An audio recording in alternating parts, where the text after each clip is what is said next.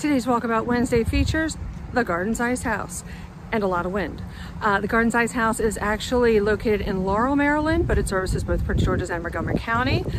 It backs up to Fairland Recreational Park, which is also split between Prince George's and Montgomery counties. And so it's nice centrally located. I have been coming here and bringing my kids here for mm, decades, but I wanted to share it with you so you can enjoy it too. Happy Wednesday. The Gardens Ice House is actually part of a larger fitness complex. I will show you the rest of that later. In the meantime, enjoy these beautiful trees. Fall in Maryland is absolutely gorgeous. Uh, my daughter Alyssa and I, also my business partner, decided to go ice skating today.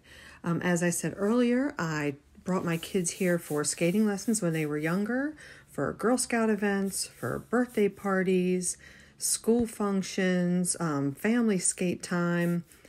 Uh, we spent a good bit of time up here at the ice house.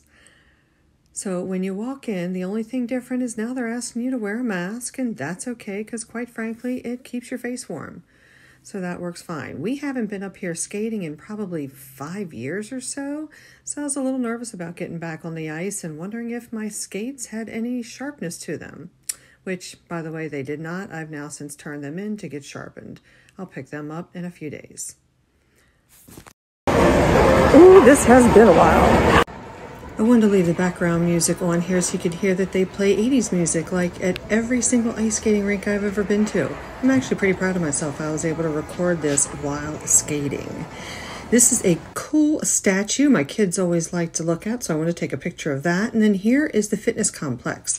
You can do gymnastics, swimming lessons, there's a tennis bubble, there's also a gym, all sorts of fitness classes. Then, of course, you've got a really fun outdoor playground, and all those trees in the background is Fairland Recreational Park.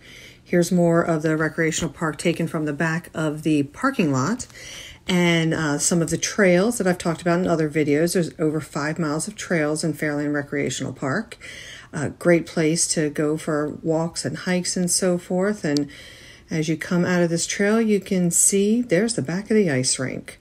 I hope you've enjoyed this tour and you'll come out and enjoy it yourself. By all means, please like, comment, and definitely hit that subscribe button.